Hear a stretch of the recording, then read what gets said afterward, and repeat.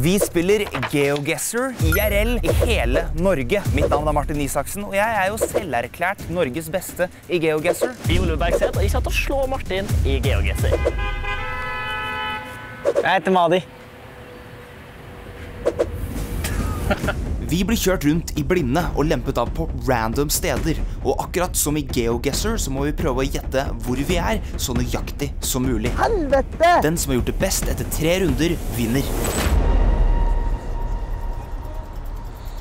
Ok, jeg føler vi står på en motorvei, for jeg, føler så, jeg hører så mye biler. Å, jeg er spent. Jeg er så spent.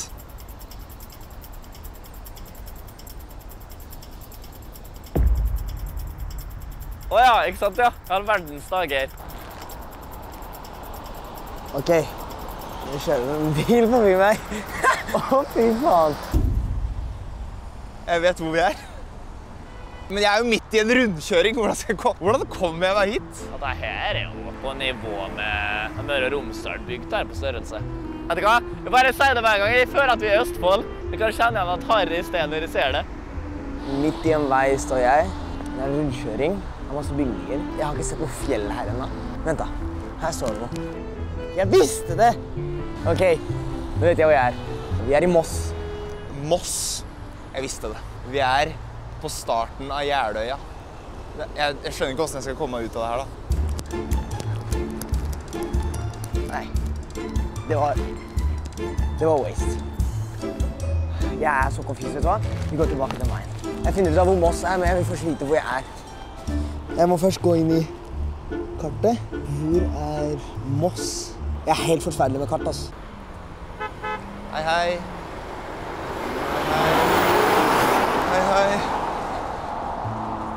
Jeg tror jeg har hatt veldig flaks.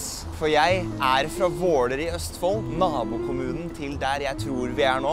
Jeg, dette tror jeg, er jeg vel er ganske sikker på, er starten av Jeløya. Og jeg tror ikke de andre aner hvor dette er. I hvert fall ikke Oliver. Han er jo fra langt oppe i Norge. Det første jeg må begynne å tenke, er det hjulet? Eller rattet? Eller hva enn det er. Jeg har ikke anelse. Det må bety noe. Men jeg kan ingen, jeg kan ingen steder i Østfold utenom Moss. Det er eneste stedet jeg kan. Men nå kan jeg bare, jeg bare bevege meg rundt. Ikke spørre folk. Jeg prøver fortsatt å finne hvor Moss er. Jeg er i Sverige plutselig. Jeg begynner å få strekk, altså. Å, busstasjon.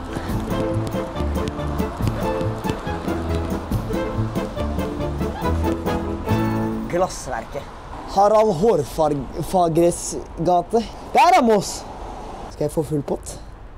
Er det er det det dere sier til meg? Jeg er litt redd for at det er mye hint her som gjør at de også kan klare det bra. Så derfor må jeg være veldig nøyaktig på kartet. Ja, det står Jeløy der og Mossglasset Nei, det står noe med Moss der i hvert fall. Så de kommer jo til å sikkert klare dette.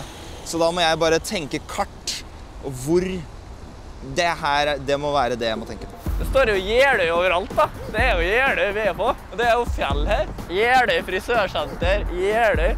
Og hvor i landet er Jeløy? Hva er Jeløy for noe? Det er i hvert fall Norges tristeste sted. Det er det ingen tvil om. Det jeg sier akkurat nå, er at det her er full pott. Jeg vet 100% det her er full pott. Skjønte du? Med den drippen her, det er umulig å ikke få full pott. Moss fotballklubb. Moss fotballklubb. Vi er, vi er i Moss. Har jeg faen meg tatt det rett fra da starta nå at det er Moss? Ok, Jeg bare dobbeltsjekker at det er det. Er vi Fergekaia, Moss. Nå kommer, fotball- nå kommer sportskunnskapene til gode. Selvfølgelig det er jo Moss fotballklubb, jo. ok, nei, Jeg må bare ta det, for hvis vi klarer det her før Martin Han er jo fra Moss. Det er helt sinnssykt. Først og fremst Moss. Starten av Jeløya. Brua. Jeg må faktisk gå og trykke litt her. For den brua som går over til Jeløya, er her. Det er liksom det tårnet der. Det er starten på brua. Så går brua over, og da kommer vi da til neste rundkjøring og tannhjulet, ja. Som er den. Vet du hva? Kom, jeg har en idé. Jeg vil tilbake til der hvor jeg egentlig skulle gå til. For jeg tror det er nærmest sjøen. Og med tanke på kulden, så er det nærmest sjøen. Vet du, for jeg er fra Nord-Norge, så jeg vet hvordan liksom atmosfæren er. Med tanke på hvor kaldt det er, så tenker jeg vi dro litt sørover. Det er nærmere vannet. Kan nærmest lukte havet. Moss er stedet mitt. vet du. Det her er stedet mitt. Så er spørsmålet, hvis vi ser på Google Maps-bildet, så er den jo litt utafor tannhjulet. Så hvis vi skal prøve å få full pott, så må jeg tenke at det er litt utafor, da. Det er helt umulig at jeg har feil nå. Jeg fant det. Yes! Yes, vet du! Her er unnskyldningen. Her er Sky Fitness. Men må jeg liksom stå helt inntil liksom, det, det stedet jeg skal være på? Hvor er Moss? Er det, er det Drammen, det? Nei, det er mot Fredrikstad. Moss, Moss, Moss, Moss, Jeløy, Jeløy. Jeg syns dette er så eh, tricky, for det kan at jeg liksom nå får ett poeng unna full pott fordi jeg trykka på feil sted på rundkjøringa. Tror jeg bare må trykke. Vi bare prøver, vi. Jeg, jeg har trua på dette. 5000 poeng. Yes! Jeg er klar for neste. Ah, faen, jeg tok ikke sentrum, men jeg trodde Og Hvorfor står det Jeløy overalt når vi er i Moss? Nei, det var ikke så fornøyd med, tror jeg. jeg tenker, det er ikke så bra. For Martin har garantert skjønt at den er i Moss, så han har sikkert tatt nærmere. 50 poeng. Da shot av meg mens jeg går.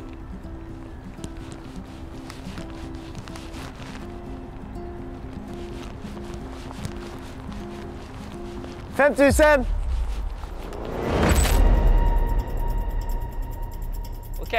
Jeg var litt andre boller. Merker jeg bryr meg hakket mindre enn runder, og for jeg er jævlig bilsjuk. Så jeg vurderer å gå i busk og nesten kaste opp. ass. Wedden er faken. Hvor faen er jeg nå? Å nei, dette her er vrient.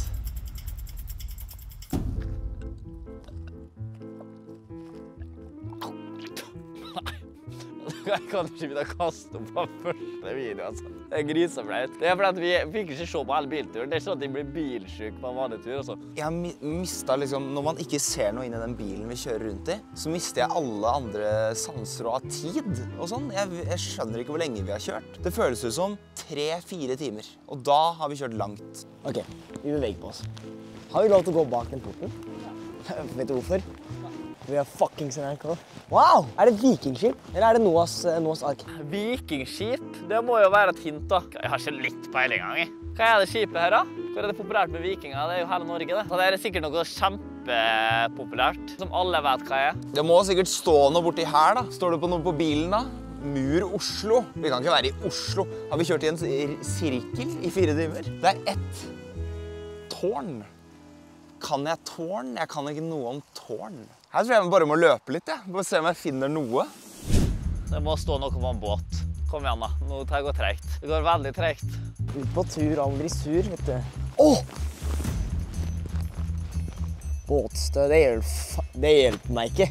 Det hjelper meg ikke. Båtstø. Vent nå litt. Innsjø. Skal smake på vannet? Vi prøver å smake på vannet. da. Kanskje det er ferskvann?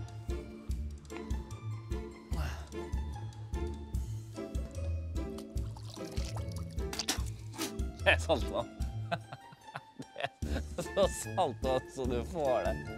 Følte at de var ekstremt dumme nå, så jeg ikke gikk etter veien og lette etter et skilt i stedet. Det er det jeg må gjøre. vet du. Jeg må på utkikk etter et stedsskilt. Ingen tid å miste! Jeg må se på dette tårnet, i hvert fall.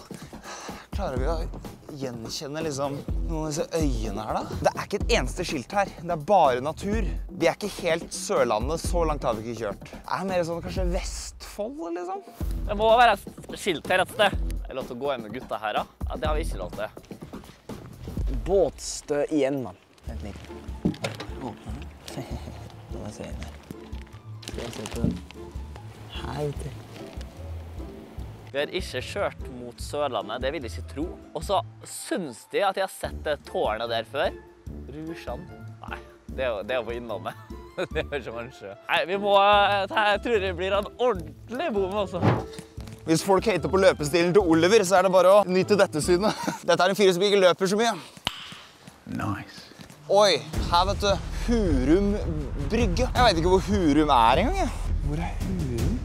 Tjøme. Her er noe greier at Hurum! Hurum. Hvor i helskotten er Hurum igjen?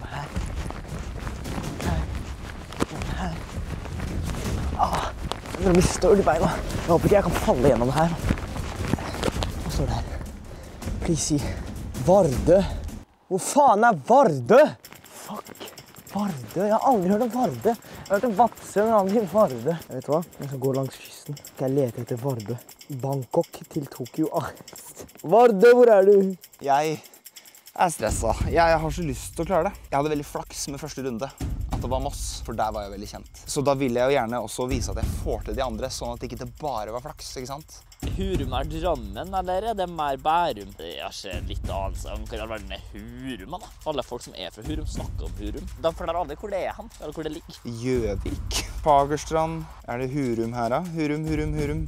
Jeg kan se land. Filtervett. Er vi på Filtervett? Storsand. Det er veldig mye stor her et eller annet sted. Oskar Borg. Det er 100 sånn rik mann som eier den øya her. Så bare bor han, og så kalte han det for Oskar Borg. Narsissist, ass. Vet du hva? Drøbak er det. Drøbak kirke. Faen, jeg visste det! Helvete! Faen! Faen, det irriterte meg. 164. Jeg går for rundt Holmestrand, eh, der. Holmsbu trykker jeg. Det var faen meg Hæ?! Å ja, jeg fikk bare 1488 poeng, da. Det er ikke så mye, men jeg er fornøyd med at jeg ikke trykka på Hamar, jeg, da. For jeg holdt jeg på å gjøre flere ganger. Nei, jeg setter min på Lierbyen. Please, da. Please, da. Er det sant? Ligger Hurum langt nede her? Eller har jeg bomma helt? Er dette her Hurum? Det er jo Hurum brygge, jo. Nei, slutt å kødde. Vet du hva jeg innså nå? Jeg har vært i et sted som ikke var sjøen. Hvor er logiske tanke- tankegangen her?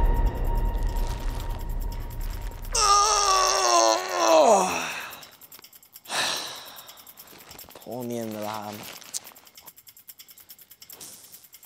Å, herregud. Å nei. Oi. Her føler jeg mye. Å ja. Det er såpass, ja. Er vi hjemme, eller? Det minner meg om kommunen hjemme.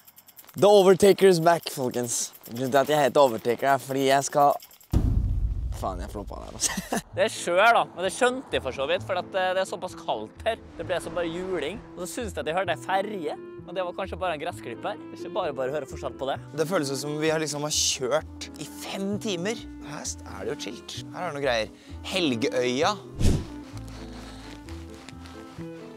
Hva faen? For ligger det ny midt i faen meg lyse dagen? Mjøsa. Er vi i Sunnmøre og Romsdal? Helgeøya. Masse navn.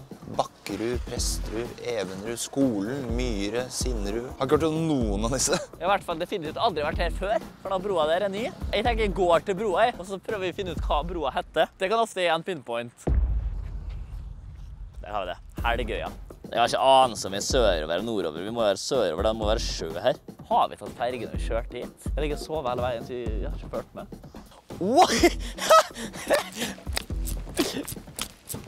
Hvorfor er det gigantiske ting her? det her er dritkult, da.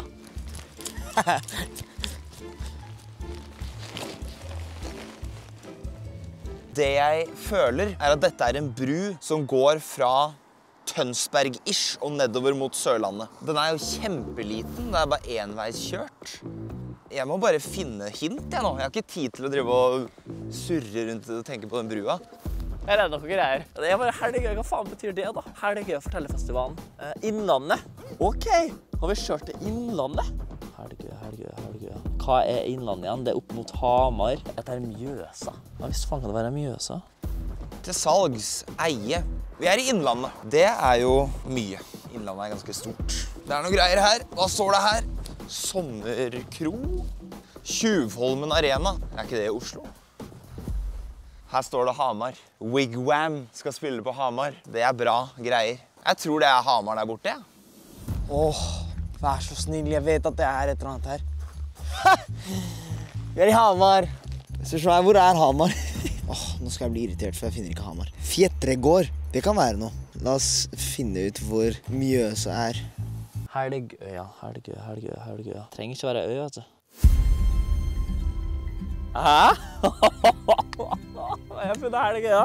Den er sjuk. Det er big brain. Det er en sinnssykt big brain. Ok, det kan bare Du skal være på meteren. Er vi liksom på andre sida av vannet, da? Det er et sted som heter Nes.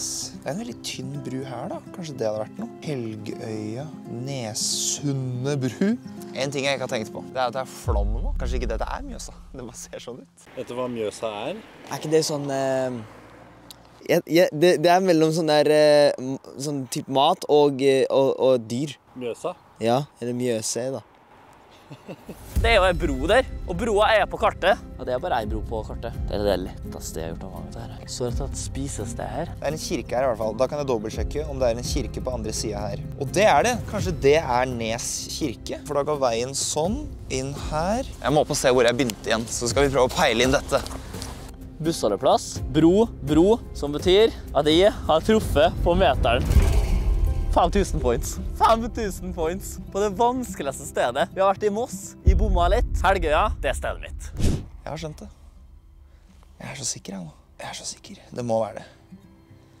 Jeg trykker. Jeg gjør det.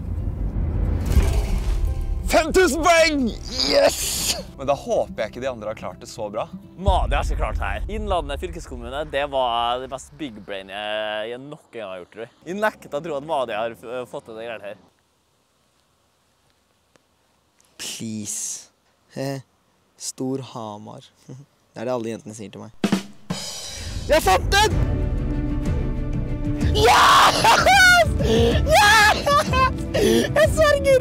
Se hva jeg gjorde! Fy faen, jeg kløtsja det! Oh my days! Overtaker. Overtaker! Jeg har, jeg har så lyst til å vinne. Jeg er så stressa for det her. Og så har han blitt bedt om å sitte i midten nå, som stresser meg. Hva betyr det? Tredjeplassen, den går til Oliver. Kødda! er det sånn. Ja, men det er jo fordi vi har valgt området til gutta her. Ja, Send oss opp til Nord-Norge og Møre og Romsdal og sånne ting, da. Vinneren med 11 488 poeng er Martin. Yes! Jeg visste det. Selvfølgelig det. er det det. Klarte dere det greiene her? Oh, oh, det er den sykeste måten jeg fikk poeng på den her. Jeg merker at Det siste jeg er gira på nå, er en sånn i dybden-analyse på hvordan du gjorde det så bra å gå på andreplass.